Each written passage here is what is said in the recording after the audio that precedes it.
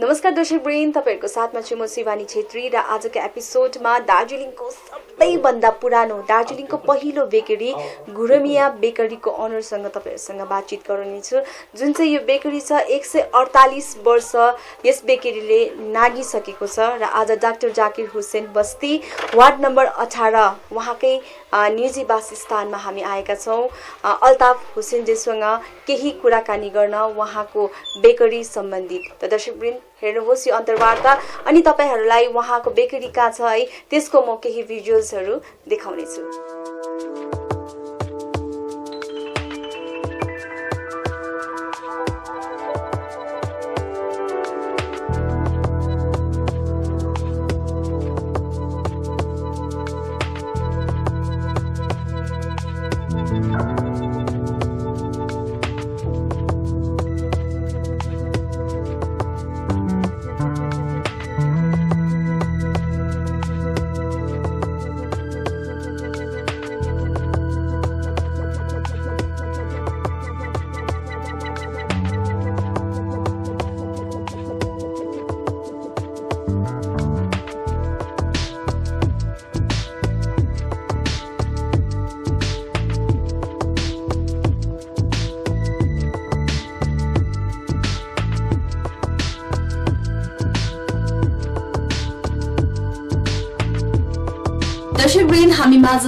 हुनुहुन्छ अल्ताफ हुसेनज्यू जो घुरमिया है बिस्किट दोकानको हाम्रो प्यारो सबैले माया गर्नुहुने अङ्कल अनर है। नमस्ते अङ्कल। नमस्ते ठिकै हुनुहुन्छ? एकदम। अङ्कल सबैले तपाईँलाई एकदमै प्यारो गर्नुहुन्छ माया गर्नुहुन्छ है।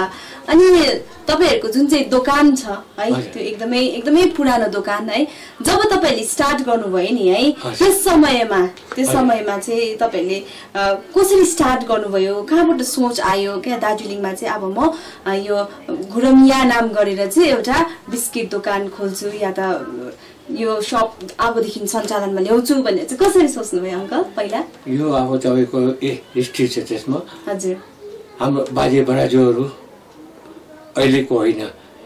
उहाँहरू चाहिँ एट्टिन हन्ड्रेड फिफ्टी सिक्सतिर आएका हुन्। र ब्रिटिस आर्मीमा उहाँ बेकरीको उसमा लाइनमा हुनुहुन्थ्यो। र उहाँहरू आएर इस्टाब्लिस गर्नुभयो। इस्टाब्लिस गर्दाखेरि पछि पछि गएर किनभने दार्जिलिङ त्यति बेला दार्जिलिङमा एउटा पनि बेकरी थिएन बेकरी इन्ट्रोड्युस गराउने हाम्रै बाजे बराजुहरू हुन्। पछि गएर हामीले नाम दियौँ गुरामिया। अब घोडामिया भनेको चाहिँ एउटा नेमसेक नाम। त्यो पपुलर पपुलरिटीको उसमा चाहिँ अब जस्तै घोडामिया घोडा भनेको चाहिँ त्यो डल्लो बढी हुन्छ। हजुर घोडा भनेको चाहिँ त्यो डल्लो ऊ भएको हो त्यो घोराउने हजुर। है र अर्को चाहिँ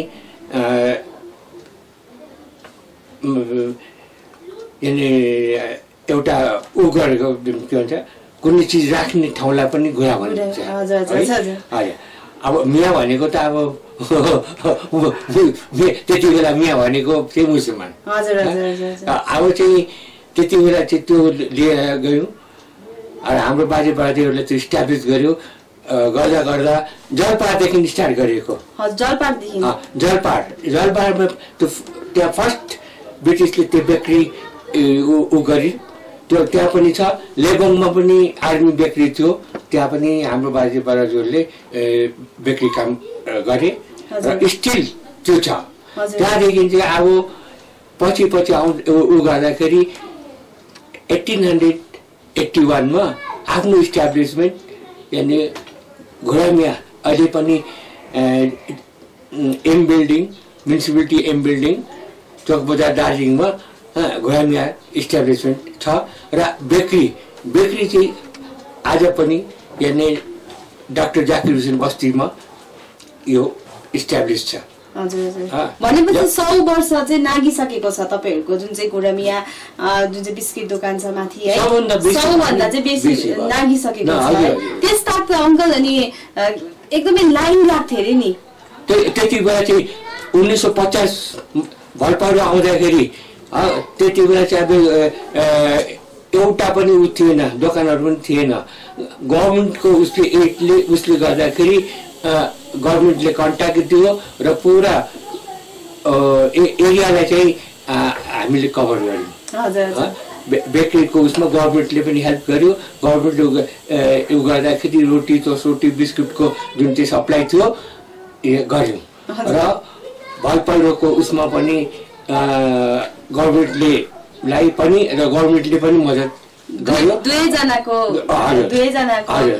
मेलमिलापमा चाहिँ। तपाईँहरूले जनतालाई सर्भिस दिनु। पायो। राम्रोसँगले है त्यो बेकरी प्रडक्ट्सले नै त्यति बेला चाहिँ हजुर त्यति बेला भन्ने गर्थे दर्शक वृन्द है किनभने घुरामियाको जुन चाहिँ दोकान छ है धेरैजना दर्शक वृन्दहरू जो पहाडमा छैन हामीलाई यहाँबाट सोसियल मिडिया मार्फत पनि हेरिरहनु भएको छ भने तपाईँहरूलाई याद आउनेछ है जुन चाहिँ यो भिजुअल्सहरू देखेर अङ्कल अङ्कलसँगको कुराकानी देखेर त्यसताक है जब पनि अ, घुरामियाको टोस्ट रोटी नखाई कसैको पनि दिनको सुरुवात हुँदैन थियो भन्ने है एउटा चलन छ।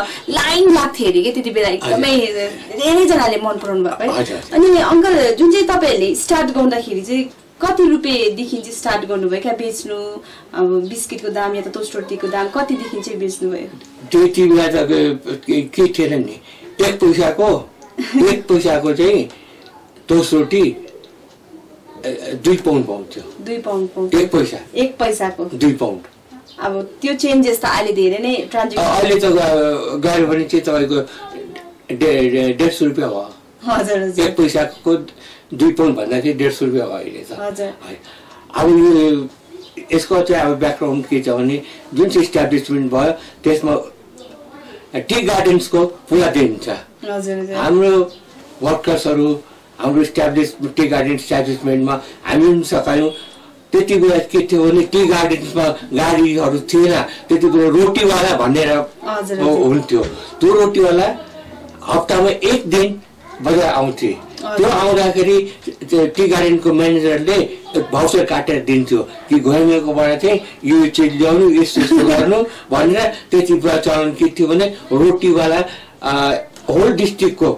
टी गार्डन्सको जुन चाहिँ रोटीवालाहरू हप्तामा आउँथे र त्योहरू त्यो चिट लिएर घुरामिया उसमा आएर त्यो रोटी टोस्ट रोटी वेलमेन्ट स्टोर जस्तै ब- बटर सटर है त्यो उसमा गरेर लान्थे। फेरि हिँडेर तिनीहरू जान्थे। त्यति बेला केही साधन थिएन गाडी घोडा त्यति बेला त सायद अङ्कल है तपाईँको दोकान मात्रै थियो होला। यो बेकरीमा है? बेकरीमा एक एउटै मात्रै। हजुर। बेकरीमा चाहिँ त्यति बेला कुनै दोकान पनि थिएन। इन्ट्रोड्युस गराउने नै हामी नै हजुर। हजुर। त्यतिखेर ब्रिटिसको यहाँनिर शासन चल्दै थियो भन्दै। को को चाहिँ आउँथ्यो क्या अब ब्रिटिसको पालामा त अब निकै छ नि। ब्रिटिसको पालामा शासन हुँदाखेरि स्टेफेन साहब थियो। हजुर। ए ए के भन्छ एडवर्ड साहबको बाजे बराजुहरू पनि थिए। अरू त्यति बेला चाहिँ अब हुक्कर साहब हु- हुक्कर साहब ल्याटेन्डा साहब हजुर हजुर। हाम्रो जसको नाममा चाहिँ अहिले बाटोहरू हजुर। एनबी सिंह साहब। हजुर। एनबी सिंह साहबसँग चाहिँ एकदम राम्रो। र हाम्रो खर्साने महिला सन्तुबिल लामा। लामा सन्तुबिल लामा साथी उहिलेदेखि नै हाम्रो सम्पर्क अमिर लामासँग हाम्रो उहिलेदेखि सम्पर्क। र खर्सानी माइला उहाँले चाहिँ धेरै हेल्प गर्नुभयो। उहाँ गभर्नर हुँदाखेरि पनि नेपालको गभर्नर भएर पनि उहाँले हामीलाई यो प्रडक्ट्समा उसमा चाहिँ निकै सहायता दिनुभयो र उहाँसँग सम्पर्क एकदमै हाम्रो राम्रो थियो र आज जुन चाहिँ हामी इस्टाब्लिसमेन्ट गऱ्यौँ उहाँको पनि धेरै सहयोग थियो। उहाँ तिनडारेमा उहाँको घर थियो। अहिले पनि त्यो शान्ति निकेतन भन्ने छ। त त्यहाँबाट पनि हामीले धेरै सहयोग पायौँ। र त्यति बेला चाहिँ हाम्रो बारीबाट जो भन्थे त्यति बेला चाहिँ तिनधारेमा तिनधारे सेन्टर थियो डिएचआरको त्यो डिएचआरको सेन्टर हुँदाखेरि त्यहाँ पनि रोटी हाम्रो सप्लाई हुन्थ्यो। हजुर। डिएचआरको तिनधारेमा त्यति बेला हाम्रो के भन्छ मदर ट्रिजा। Mother Teresa. पनि त्यहाँ हुनुहुन्थ्यो। मदर टेरेसा डिएचआरमा जुन बेला च- यो- यो दन्तकथा होइन। डिएचआरमा उहाँ चढेर आउँदाखेरि परमेश्वरको आशिष परमेश्वरको आशिषले उहाँले चाहिँ इन्लाइटेन हुनुभयो। एउटा डब्बामा चढेर आउँदाखेरि उहाँ इन्लाइटेन प्रभुले उहाँ इन्लाइटेन गर्नुभयो। र त्यति बेला त्यति बेला के थियो भने नाइन्टिन हन्ड्रेड थर्टी टूमा म फर्स्ट भिजिट गरेर आउनु आउनुहुन्थ्यो करेराबाट दार्जिलिङ। र उहाँको इन्लाइटेन उहाँ हुनुभयो तिनधारेमा।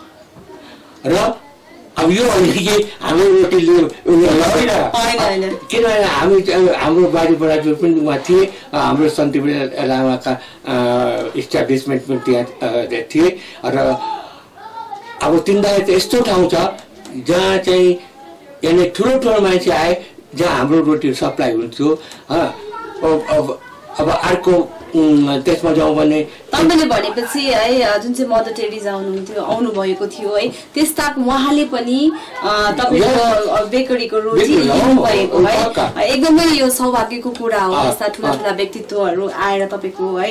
जुन चाहिँ दोकान छ त्यहाँको जुन चाहिँ तपाईँको स्पेसल त्यहाँ पाउँथ्यो बिस्किट रोटी त्यहाँको लिनुभएको है अङ्क त्यस समयमा तपाईँले है कहाँनिर बनाउँथ्यो क्या जुन चाहिँ तपाईँको सप्लाई हुन्छ दोकानमा जुन चाहिँ त्यो।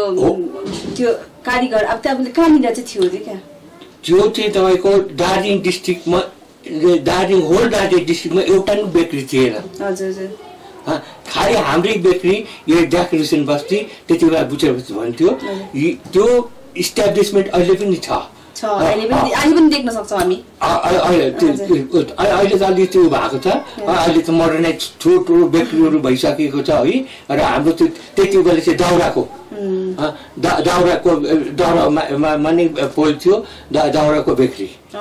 अहिले दाउराको बेकरी छैन। दाउरामा पकाउने सिस्टम एउटा पनि छैन। हाम्रो के छ भने स्टिल अब अलिक यताउता गरेर अहिलेसम्म हामी हामी मिसिन ल्याएको छैनौँ। ए हजुर। हँ, सानो तिनो खालि। त्यो ठुलो मेसिन चाहिँ छैन। अब त्यसको लागि अहिले त एकदम डेभलप भइसक्यो किन नल्याउनु भएको अङ्कल? अहिले त जमाना धेरै चेन्जेस भइसकेको छ होइन? चेन्ज भएको छ। किन चाहिँ त्यो अब कति कतिवटा त्यो अब प्रब्लम्स घरको प्रब्लम्स हजुर। यताउता गरेर नि त्यो उ गरेको। अब त्यो कतिवटा उसमा चाहिँ अ, सानोतिनो काम चल्दैछ। अहिले बेकरी त अहिले कति बिघ्न भइसक्यो। कम्पिटिसनमा किन जानु? त्यस कारण त्यो जुन चाहिँ चलिरहेको छ त्यो। तपाईँहरूको जुन चाहिँ एउटा बनाउँदै आउनु भएको थियो त्यसलाई नै यथावत राखिरहनु भएको छ भन्नुभयो है कर्सियङ जान्थ्यो तपाईँहरूको कालिम्पोङ जान्थ्यो।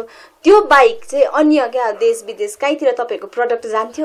त्यो त्यो- त्यति बेलाको प्रडक्ट त्यति बेला ब्रिटिस ऊ थियो प्लान्टर्स क्लब थियो है। प्लान्टर्स क्लबको साहबहरू चाहिँ आउँथे। र प्लान्टर्स क्लबमा केक बिस्किटहरू जान्थ्यो। उहाँहरूले चाहिँ त्यो ऊ गरेर इङ्ल्यान्ड इङ्ल्यान्डमा पनि पठाउँथ्यो। इङ्ल्यान्ड पनि इङ्ल्यान्डमा यहाँबाट चाहिँ प्लान्टर्स क्लब जान्थ्यो। प्लान्ट प्लान्टर्स क्लबले साहबहरूले के- म्यानेजमेन्ट गरेर उहाँहरूले उहाँहरूले चाहिँ आफ्नो उसमा चाहिँ दायित्वमा इङ्ल्यान्ड पनि पठाउँथ्यो। बेला आलुलाई जुन छ नि।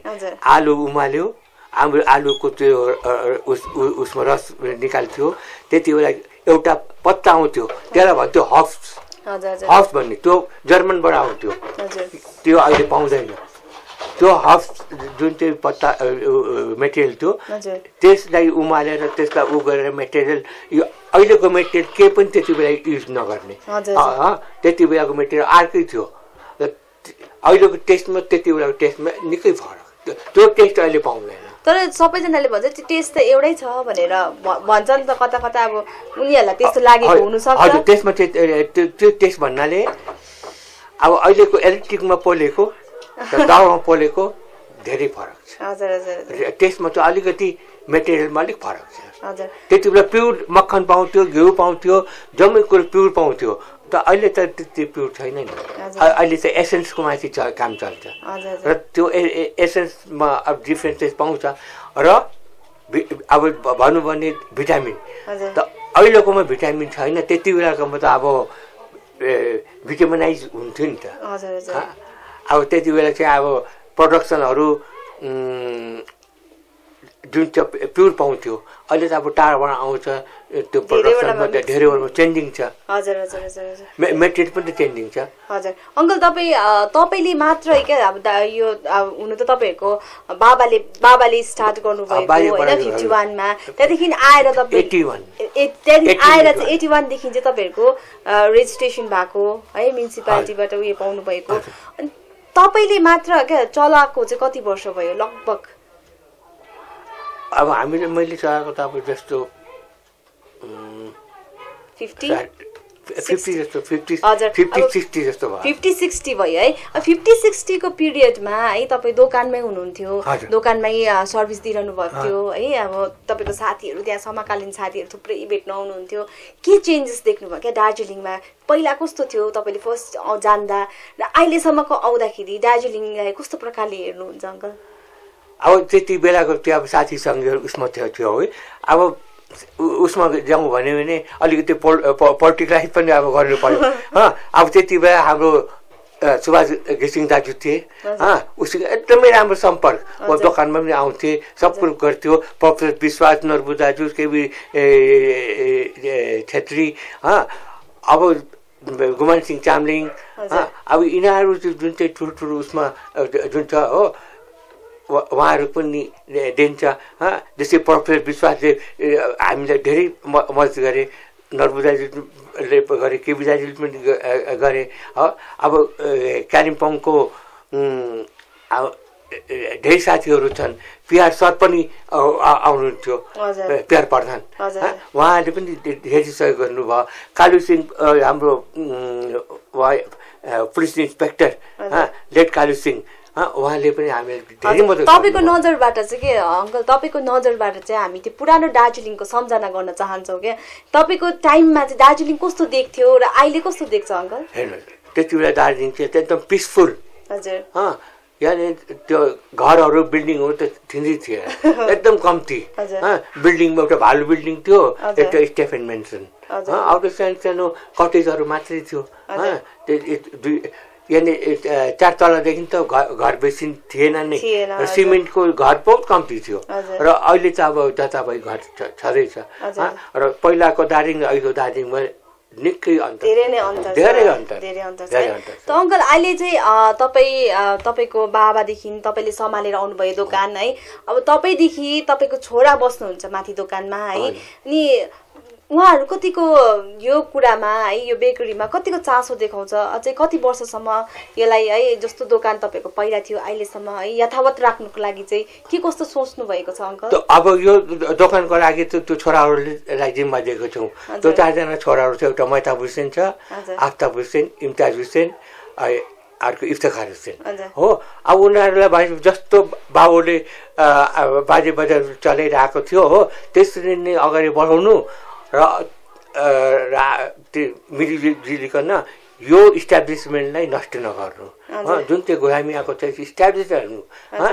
त्यसलाई चाहिँ नछुनु अब अरूले कतिले सजेसन दियो रोटी दोकान बन्द गरेर ठुल्ठुलो ऊ राख्नु के घडी दोकान खोल्नु के भन्छ जुत्ता- दोकान खोल्नु तर तिनीहरू मानेन। उनीहरू भन्यो होइन जुन चाहिँ हामी गरेर आएको छौँ त्यसमा प्रफिट कम्ती नै होस्। तर त्यही ए, प- प्रोफेसनमा हामी छौँ। एकजना मेरो छोरा चाहिँ यही लाइनमा बेकरीको लाइनमा अहिले उसमा छ कोइटमा छ। Bakery line. उहाँ तपाईँहरू आज आउनुहुन्छ भनेर अघि हिजो नै फोन गरेको थिएँ। मैले मैले त्यो गरेर तँलाई म फोटोग्राफी गरेर पठाइदिन्छु। तर उनीहरू चाहिँ बे- बेकरी लाइन चाहिँ नछोड्ने। हजुर उनीहरू पनि इन्ट्रेस्टेडै हुनुहुन्छ। यसरी नै पिता पुर्खाले गर्दै आएको कामलाई है त्यसरी नै अघि बढाउँदै लग्यो भने त एकदमै राम्रो हो नि त है अङ्कल? अनि तपाईँको जन्म चाहिँ कहाँ भएको थियो अङ्कल? तपाईँको तपाईँ बस्नु भएको तपाईँको जन्म है यहाँ बसेको धेरै बसेँ। यहाँ बस्नु चाहिँ हामी यहीँ एजुकेसनहरू जम यहीँ पा गरेको। हामीलाई महेन्द्र सरले पाउनु भएको। पहिला त माउन्टेन पढेँ। त्यहाँदेखि चाहिँ अँ, त्यहाँदेखि सेन्ट कलेज। हजुर अब गुरुहरू चाहिँ त महेन्द्र सर पिपी सर का- चाहिँ खालिङ सर निर्मल सर। उहाँहरूले हामीलाई स्किन दिनुभयो। सुखसिंह सर यिनीहरू अहिले त सुखसिंह सर मात्रै हुनुहुन्छ। र हाम्रो एकजना साथी हेमकुमार राई तपाईँ चिन्नुहुन्छ होला। आर्टिस्ट। ह, र उनीहरूको अब सहयोग छ उनीहरूले पनि बेला बेलामा हामीले निकै हेल्प गर्छन् र इन अल रेस्पेक्ट हजुर यहीँनिर भनेपछि तपाईँको जन्म पनि यहीँ भएको है। अहिले स्टिल पनि माथि जुन चाहिँ बेकरी छ है त्यहाँनिर प्रडक्टहरू जुन चाहिँ रोटी बिस्किट्सहरू छ त्यो बनिने कारिगर चाहिँ तपाईँहरूको यहीँ छ कि माथितिर नै सार्नु भएको छ अङ्कल हो यतै छ यतै गाउँमै छ गाउँमा छ त्यो के भन्छ त्यो पहिलाको अ, उ- उसमा का- कारिगरहरूमा र अहिले कारिगरमा अलिक फरक छ त। तर छनु चाहिँ यहीँ छ यतै छ। किन ढाँट्नु। हो। जस्तो थियो त्यस्तै छ। त्यो अरूको त प्रडक्ट ठिकै छ बढिरहेको छ सब कुरो छ जस्तै ओलिज छ ग्रान्डिज छ अरूहरू छ हो? त्यस्तै हाम्रो पनि छ तर कम्पिटिसन मार्केटमा छ तर अहिले जस्तो हुनुपर्ने त्यस्तोमा छैन। अ, नाम चाहिँ छ। हजुर। केही पनि छैन अङ्कल किनभने जुन चाहिँ कुरा हामीले पहिलादेखि स्टार्ट गरेको थियो है त्यसलाई संरक्षण अब त्यसलाई प्रोटेक्ट गरेर राख्नु यो एउटा इतिहासमा गनिन्छ भन्ने कुरा हामीलाई लाग्छ है। त्यो कुरा तपाईँहरूको त्यही छ। त्यो पनि एउटा राम्रो कुरा नै हो नि त किनभने अहिले टेक्नोलोजी कहाँ बढिसकेको छ तर हामी पुरानै टेक्नोलोजीमै पनि त्यसलाई पनि साथसाथै लिएर हिँड्यो भने अझ राम्रो हुने थियो है। त दर्शकवृन्द है यति मिठो गफ उहाँसँग भयो है। धेरैजना दर्शकहरूले हामीलाई हेरिरहनु भएको छ। अवश्य पनि तपाईँहरूलाई है जुन चाहिँ उहाँहरूको दोकान रहेको छ जुन चाहिँ बजारमा है गोलघरको ठिकै अगाडिपट्टि है त्यहाँनिर घुरमियाको बिस्किट्स भनेपछि सबैजनाले नै रुचाउनु भएको मन पराउनु भएको है। यो यसमा धेरैजनाको यादहरू जोडिएको छ। अवश्य पनि यो यो एपिसोड हेरेपछि तपाईँहरूलाई त्यो दिनको सम्झना आउनेछ। त अङ्कल सम्पूर्ण दर्शकहरू आज दर्शकहरूले गर्दा नै है तपाईँकोमा आउनु हामी आउनु पर्यो। किनभने उहाँहरूले सोधिरहनुहुन्छ तपाईँ कहाँ छ त्यसै पनि अहिले तपाईँलाई त्यति साह्रो देख्दैनौँ नि त हामी बजारमा। है अलिकति अब तपाईँ अब एजले गर्दा पनि हो है। तर दर्शकहरूले सोधिरहनुहुन्छ कहाँ छ के छ भनेर है। त्यो सम्पूर्ण दर्शक है हाम्रो यहाँनिर मात्र नभएर देश विदेशमा भएको दर्शकहरूलाई पनि के भन्न चाहनुहुन्छ अङ्कल? अब भन्नु चाहिँ हाम्रो जनता हाम्रो दार्जिलिङवासीलाई म हात जोडेर उहाँलाई धन्यवाद दिन्छु कि आजसम्म घोडामियाको प्रडक्ट्सलाई याद गर्नुहुन्छ र घोडामियाको बिस्कुट रोटी दोकान खोजेर नै आउँछन्। कमान बस्तीदेखि अहिले पनि घोडामियाको दोकान खोज खोज्नेहरू हाम्रा शुभचिन्तकहरू छन्? र उहाँहरूलाई म हार्दिक बधाई दिन्छु र यसर्थ हामीले यो लाइन नछोडेको। यो रोटी रोटीको बेकरीको लाइन किनभने पैसा कमाउनु सकिन्छ मान्छे कमाउनु पनि साह्रो छ। मान्छे कमाउनु पनि एकदम साह्रो छ। र आज चाहिँ यो प्रोफेसन छोडिदियो भने पैसापट्टि गयो भने तपाईँहरूको सहयोग पाउँदैन मेरो अस्तित्व मिटिएर जान्छ। यसतर्थ तपाईँलाई मेरो हार्दिक धन्यवाद निवेदन छ कि हामी यसरी नै बन रहौँ र हामीलाई तपाईँहरूले याद गर्नुहोस् हँ? सहयोग गर्नुहोस् आउने दिनमा तपाईँहरूको सहयोग चाहियो। अङ्कल एउटा है जब तपाईँहरूले स्टार्ट गर्नुभयो बेकरी है स्टार्ट गर्नुभयो सुरु सुरुमा त त्यति सजिलो थिएन होला नि त। किनभने एउटा चुनौती पनि थियो त तपाईँहरूको लागि। दार्जिलिङमा फर्स्ट बेकरी तपाईँहरूले खोलिरहनु भएको थियो। चुनौती पनि उत्तिकै थियो। कतिको सामना गर्नु पर्यो त्यो समयमा के? त्यति बेला यस्तो नि अब त्यति बेला चाहिँ बेकरी थिँदै थिएन। हजुर। हँ? यानि इस्ट्याब्लिसमेन्ट गर्नु चाहिँ साह्रो पर्यो। हजुर। त्यति बेला अब तपाईँको एट्टिन हन्ड्रेड एट्टिन वानतिर हो फिफ्टी सिक्समा आएको त्यो- त्योभन्दा पहिला चाहिँ यहाँ त बेकरी थिएन बेकरी इन्ट्रोड्युस गर्नु नै हामी हजुर, हजुर, तपाईँहरूले। त्यो रोटी कति बनाउ बनाउँछ के गर्छ भने त्यो चाहिँ कतिजना बेकर्सहरू चाहिँ ब्रिटिसले लिएर आएको ए हजुर? त्यो चाहिँ इपीबाट जस्तै बिहारबाट मोस्ट प्रब्ली यो भागलपुर बिहार है यहाँ हाम्रो युपी बलिया गाजीपुरबाट चाहिँ बे- बेकर्सहरू आएको। है? र हाम्रो स्पेसली चाहिँ जुन चाहिँ हाम्रो आफन्त आफन्तहरू जुन छन् जस्तै बराजुहरू हाम्रो गुरामिया भए हँ? हाम्रो इब्राहिम एकजना इब्राहिम भन्ने थिए। अब उहाँहरू चाहिँ एकदम एक्सपर्ट उहाँहरू चाहिँ एक्सपर्ट हुँदाखेरि चाहिँ ब्रिटिसले चाहिँ त्यो उहाँको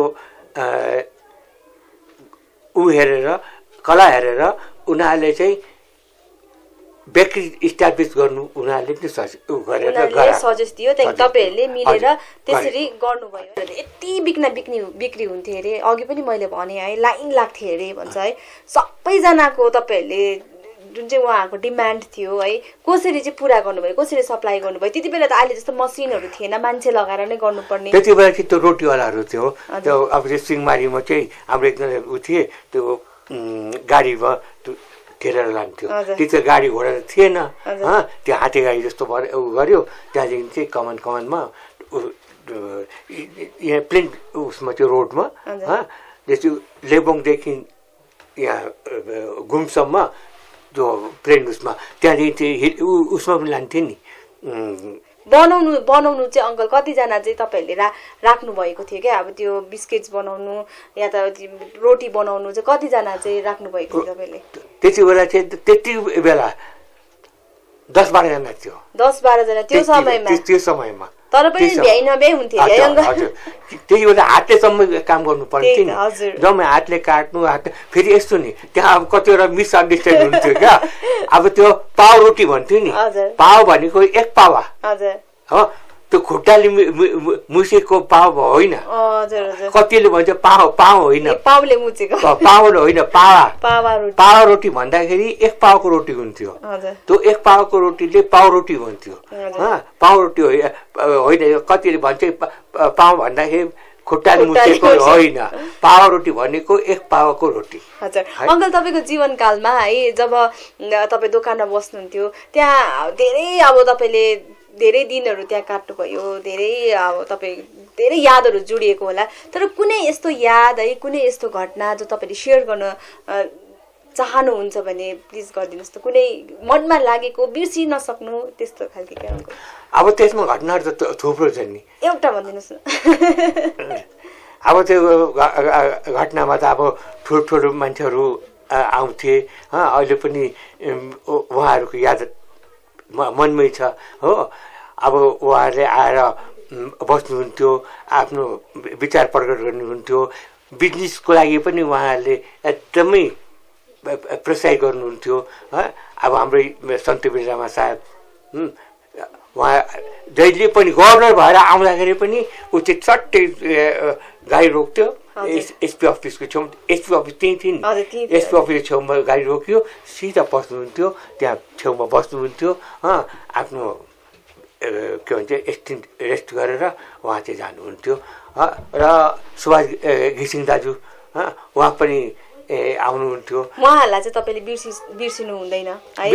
त्यो सम्झना तपाईँले यो कुरा गर्दाखेरि नै तपाईँको आँखा रसिलो भएको हामी। महसुस गऱ्यौँ है यहाँबाट। किनभने अङ्कल अब ओल्ड एज हुनुभएको छ तर उहाँकोमा जुन चाहिँ जोस छ जागर छ है त्यो चाहिँ मर्नु दिनुभएको छैन उहाँले। Friend, आजको एपिसोडमा मैले है अङ्कल जुन चाहिँ घुरमिया जुन चाहिँ हाम्रो बेकरी छ बजारमा है एकदमै नाम चलेको एकदमै पुरानो सबैभन्दा पुरानो दोकान है यहाँको आज हामी अनरसँग भेट गऱ्यौँ है केही बातचित गऱ्यौँ अल्ताफ हुसेनज्यूसँग र एकदमै रमाइलो मिठो कुराकानी भयो। र उहाँको बेकरीहरू पनि मैले तपाईँलाई देखाएँ र उहाँलाई यसरी आज हाम्रो एपिसोडमा लिन पाउँदाखेरि यो हाम्रो सौभाग्य ठान्छौँ हामी। त अङ्कल धेरै धेरै धन्यवाद। त दर्शक वृन्द आजको एपिसोडमा हामीले उहाँलाई लिन पायौँ। धेरै खुसी लाग्यो र अर्को एपिसोडमा अन्य जग्गा अन्य व्यक्तित्वसँग अवश्य पनि भेटाउने नै छु। अहिलेलाई पनि म शिवानी छेत्री अनि क्यामेराम्यान अर्जुन शर्मालाई बिदा दिनुहोस्। धन्यवाद। म जोरबुङ लाङ